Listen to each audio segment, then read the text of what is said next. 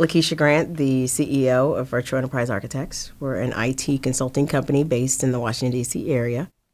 Enterprise architecture is a discipline within IT in which you take an organization's strategic goals and you sort of pilfer out those strategic goals and ensure that the operational processes fall in line with the strategy. We look at an organization and then determine um, whether or not their infrastructure and their technology supports their vision. The real catalyst for me was the fact that I felt that I didn't have a voice. I felt that I had good instincts, and in most cases, when I did provide um, recommendations, eventually they would adopt it. They would congratulate me and thank me after the fact, but you know, I had that instinct to just go and be entrepreneurial. I really wanted to create my own environment where others can be heard. And if they have great ideas, to really foster that and really help support them in those ideas. I can't be a jack of all trades anymore.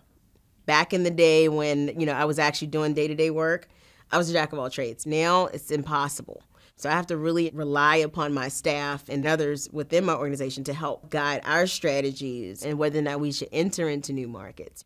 We're always looking for our next customer. I'm consistently out writing proposals, meeting new people.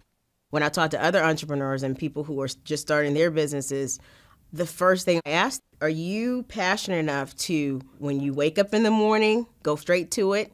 And then before you go to sleep, that's the last thing that's on your mind. The entire day, all 24 7, you're gonna eat, live, and breathe this business. But if you're really passionate about what you do, you're gonna love it. I can't give a generic um, response, you know, for other, you know, young women, you know, who may enter into IT because it's a difficult field. I think one of the issues with some women is the ability to assert themselves in certain environments. I was raised to assert myself. Not a lot of women are as assertive in asking for certain things or maybe negotiating certain things. But I think that largely is a result of education.